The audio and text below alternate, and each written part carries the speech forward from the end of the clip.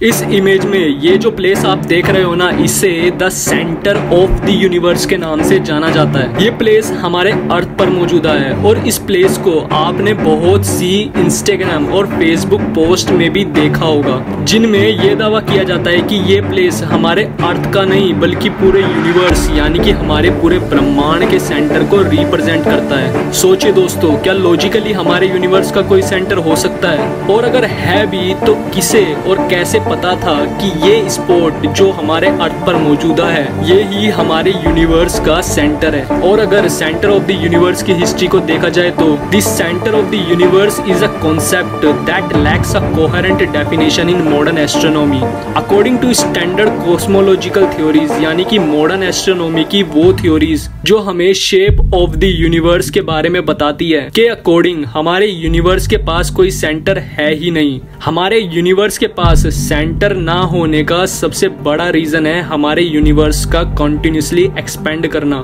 हमारा यूनिवर्स अपनी क्रिएशन के टाइम से ही स्पीड ऑफ़ लाइट से भी तेज स्पीड से एक्सपेंड कर रहा है, जिससे हमारे यूनिवर्स का साइज़ कॉन्टिन्यूसली इंक्रीज हो रहा है। इसीलिए मॉडर्न एस्ट्रोनॉमी थ्योरीज का ये मानना है कि हमारे यूनिवर्स यानी कि हमारे ब्रह्मांड के पास कोई सेंटर है ही नहीं। अब यहाँ पर सोचने वाली बात यह है कि अगर मॉडर्न एस्ट्रोनॉमी यूनिवर्स के सेंटर के कॉन्सेप्ट को डिनाई करती है तो अर्थ पर मौजूदा इस प्लेस को सेंटर ऑफ़ यूनिवर्स क्यों बोला जाता है? In the fourteen century BCE एक ग्रीस फिलोसफर ने एस्ट्रोनॉमिकल ऑब्जर्वेशन के बेस पर एक जियोसेंट्रिक मॉडल को क्रिएट किया था, जिसके अनुसार उनका ये मानना था कि पूरे ब्रह्मांड का जो सेंटर है, वो एक स्पेरिकल स्टेशनरी अर्थ पर एग्जिस्ट करता है। यानी कि हमारे अर्थ पर एग्जिस्ट करता है, जिसके अराउंड सन मून प्लैनेट्स और स्टार्स रोटेट करते हैं। अर्थ पर इस प्लेस को सेंटर ऑफ़ द यूनिवर्स इसलिए बोला जाता है, क्योंकि फोर्थ सेंचुरी के लोग ये मानते थे कि हमारे अर्थ पूरे यूनिवर्स का सेंटर है। और यूनिवर्स में मौजूदा बाकी सभी ऑब्जेक्ट्स